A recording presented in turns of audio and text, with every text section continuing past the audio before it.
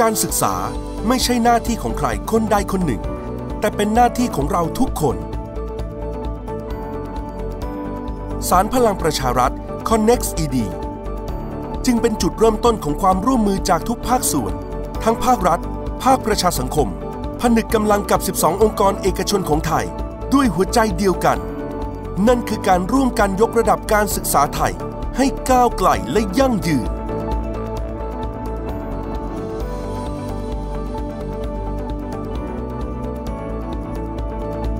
ดำเนินโครงการภายใต้ยุทธศาสตร์ 10 ด้าน ที่ตระหนักต่อสังคม เศรษฐกิจ และสิ่งแวดล้อม มุ่งหวังให้เด็กไทยมีศักยภาพ เป็นทั้งคนดีและคนเก่ง เพื่อเตรียมคนไทยในอนาคต ตลอดระยะเวลาของการดำเนินโครงการสารพลังประชารัฐ Connex ED ผ่านรูปแบบการสร้างผู้นำรุ่นใหม่ หรือ School Partner โดยนำบุคลากรจากภาคเอกชนที่มีจิตอาสา เข้าร่วมอบรม และลงพื้นที่ปฏิบัติงานจริง ในโรงเรียนประชารัฐทั่วประเทศ ร่วมแลกเปลี่ยนเรียนรู้กับผู้นำโรงเรียน ครู นักเรียน และชุมชน เพื่อจัดทำแผนพัฒนาโรงเรียน ตามบริบทอย่างเป็นรูปธรรม ซึ่งได้สร้างความเปลี่ยนแปลง จนเกิดเป็นผลงานแห่งความภาคภูมิใจของทุกฝ่าย ที่มีส่วนช่วยยกระดับคุณภาพการศึกษาไทย โดยมุ่งเน้นไปยังยุทธศาสตร์หลัก 5 ด้าน สารพลังประชารัฐ Connex ED ได้รวบรวมข้อมูลทุกด้านของโรงเรียนประชารัฐ ครอบคลุม 77 จังหวัด มากกว่า 3,000 โรงเรียน ไว้ในเว็บไซต์และแอปพลิเคชัน เพื่อเผยแพร่สู่สาธารณะ ซึ่งจะเป็นประโยชน์ต่อการประเมินผล และสามารถใช้กำหนดแผนพัฒนาโรงเรียนได้อย่างมีประสิทธิภาพ อีกทั้งยังพัฒนาให้มีระบบสมุดพกดิจิทัล เพื่อใช้แสดงข้อมูลการศึกษาของนักเรียนแต่ละคนโดยละเอียด ซึ่งผู้ปกครองและครูสามารถใช้เป็นฐานข้อมูลสำคัญ ในการร่วมพัฒนาศักยภาพของนักเรียนได้อย่างเหมาะสมอีกด้วย เราก็มีการเก็บข้อมูลในเรื่องของผลสำเร็จทางการเรียน แล้วก็มีการสรุปทำเป็นสาระสนเทศ เราจะใช้ผลของการประเมินเหล่านี้ มาเป็นแผนเพื่อที่จะพัฒนา เราก็จะได้รู้ว่าเราพัฒนาถูกจุดหรือไม่ถูกจุดนะครับ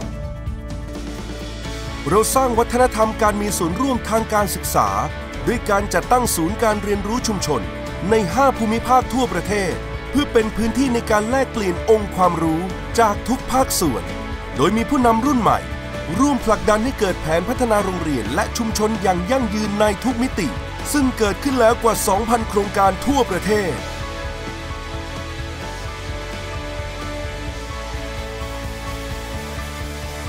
และในระยะต่อไปจะเปิดโอกาสให้คนทั่วไป และองค์กรที่สนใจ ได้เข้ามาร่วมสนับสนุนโครงการต่างๆ ผ่านระบบระดมทุนออนไลน์ หรือ crowdfunding เพื่อรวมพลังสร้างวัฒนธรรมการมีส่วนร่วมด้านการศึกษาอย่างทั่วถึง พร้อมกันนี้ยังส่งเสริมศักยภาพบุคลากรทางการศึกษา ผ่านหลักสูตรพัฒนาครูและผู้บริหาร ตลอดจนการแลกเปลี่ยนกระบวนการเรียนรู้ จากโรงเรียนต้นแบบชั้นนำอย่างต่อเนื่องเป็นประจำทุกปี ครอบคลุมทั่วทุกภูมิภาค แก้ปัญหาให้กับครูได้อย่างมาก มาครั้งเนี้ยได้เห็นภาพมากขึ้นว่า เราสามารถที่จะนำไปใช้พัฒนาเด็กได้ยิ่งขึ้นไปอีก สารพลังประชารัฐ Connex ED มุ่งจัดการเรียนรู้ที่เน้นเด็กเป็นศูนย์กลาง ให้กับเด็กนักเรียนกว่า 700,000 คนทั่วประเทศ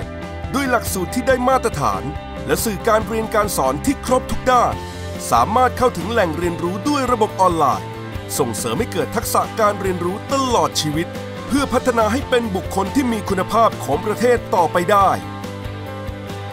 การที่เราพัฒนาทรัพยากรมนุษย์ก็เป็นการพัฒนาที่ยั่งยืนอยู่แล้ว ถ้าเด็กได้ลงมือปฏิบัติจริง ได้เรียนรู้จากการปฏิบัติจริง เด็กก็สามารถนำไปใช้ในชีวิตประจำวัน และในอนาคตก็อาจจะใช้ไปประกอบอาชีพได้ กระบวนการเรียนหรือวิธีการสอนง่ายขึ้น สนุกขึ้น สมองก็ได้เปิดกว้างขึ้น แทนที่จะเด็กดอยคือเรียนแบบดอยๆ ก็ไม่ใช่ละยังมีการสนับสนุนโครงสร้างพื้นฐานด้านดิจิทัล ให้กับโรงเรียนประชารัฐ โดยติดตั้งอุปกรณ์ และสื่อ ICT เพื่อการศึกษา ในกว่า 3,000 โรงเรียน มากกว่า 39,000 ห้องเรียน ติดตั้ง high speed อินเทอร์เน็ตในโรงเรียนกว่า 1,200 แห่ง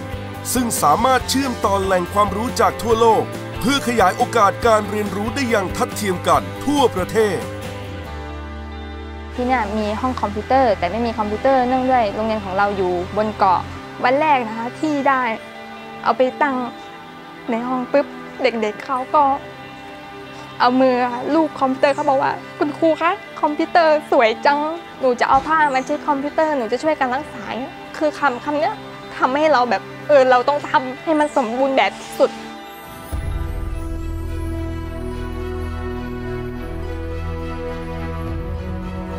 ได้ความรู้เกี่ยวกับการเกษตร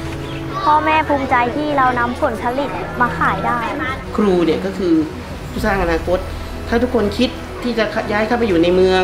แล้วคนที่จะอยู่กับเด็กอะอยู่กับเด็กจริงๆเนี่ยจะมีสักกี่คน